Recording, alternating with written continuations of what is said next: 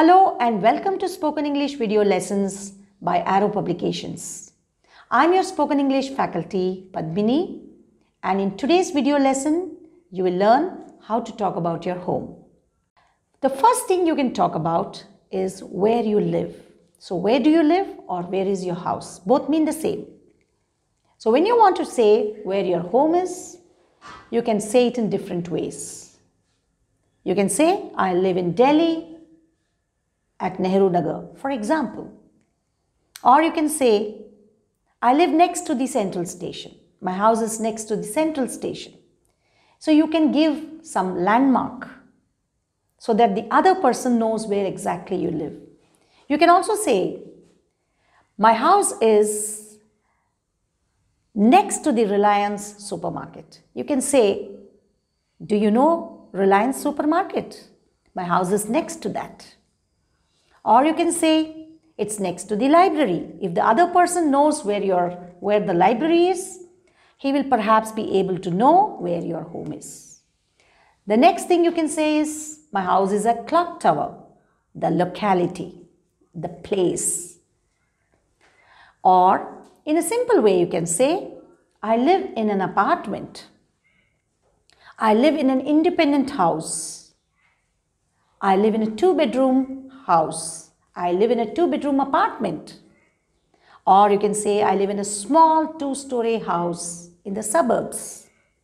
If you want to give the exact address, you can say, I live in street number 10, Soap Factory Lane. This is just an example. So you can write you or you can say by giving your exact street number or the lane, the name of the lane. So this is the first thing you talk about. Where is your house? The next thing you can talk about is what's your home like? So how is it? You can add nice interesting details. For example, you can say, I live in an apartment. My house has a living room, two bedrooms, a kitchen and a storeroom. So this is a very simple way of talking about what your home is like. Another way you can talk about is by adding some more details. You can say, my house has a big drawing room, a dining room, three spacious bedrooms, a study and a kitchen. So this is another way of putting it. You can also say there are two balconies, a terrace where we sit in the evenings when the weather is nice. Adding some more details. Now let's look at one more example. My house is a duplex house. My house is a duplex house. What is a duplex house? A duplex has two, house has two floors. My house is a duplex house. The living room, the dining room and the kitchen are on the ground floor. The bedroom and the study, the bedrooms and the study room are on the first floor. We have a garage and a patio. What is a patio? Patio is a space where you sit in front of the house. And in the backyard, there's a small vegetable garden. So you're adding some more details with each example. Now let's look at the next example. I live in a three bedroom apartment on the second floor. There is a living room, a dining room, three bedrooms and a kitchen. The bedrooms are very spacious. Spacious means very big, lot of space. The bedrooms are very spacious, but the other rooms are very small. We have a beautiful modular kitchen. We have a big balcony where we have some plants. So this is one more example. Now the next thing you can talk about is what you like about your home. I'm sure there are some things that you particularly like, like about your home. So, for example, you can say, my house is very spacious and well furnished. It is also well ventilated, well ventilated. What does it mean? It means that there is lot of there are lots of doors, windows from where you can get fresh air. So you can say, my house is well ventilated. So there is plenty of sunlight and fresh air coming in. Another example. My apartment faces the sea. So there is always a cool breeze blowing in.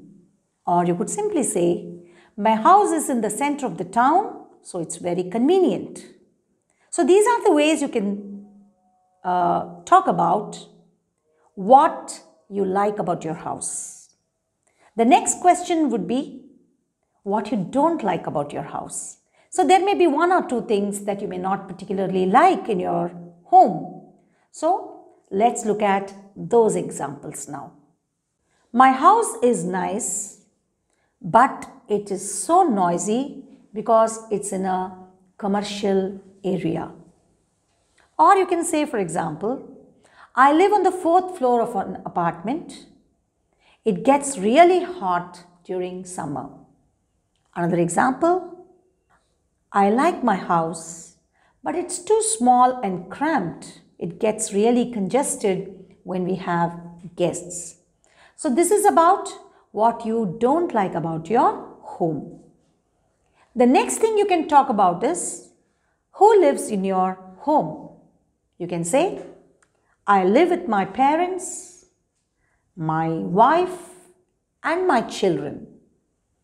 Or you can say, I live in a flat, I share it with two of my college mates. Or another example, if you're living alone, you can say, I live by myself in a one bedroom apartment. Now let's put all these ideas together to make some sentences to describe your home. For example, I live in a bungalow in the suburbs. The house is very big and spacious. There is a big garden in front of the house. We have a garage where we keep the cars. There is a patio where we sit in the evenings. The area we live in is very quiet and peaceful. There aren't many shops and houses around, but there is a park where I take a walk every morning. It is not convenient because I have to drive to the city to buy things. Sometimes it's boring because there isn't much to do. Look at this description. It's talking about your home in an interesting manner. You talk about all the points that we have covered. Where you live. Who do you live with? What does your home look like? And it also talks about what you like about your home, what you don't like about your home. So this is how you talk about your home and make it very interesting. So I'm sure you enjoyed watching this video and you have now learned how to talk about your home. Speak with confidence and ease and naturally. When you make sentences, make them sound natural as well when you speak. Do like, share and subscribe to our videos. We'll come back with more videos for you.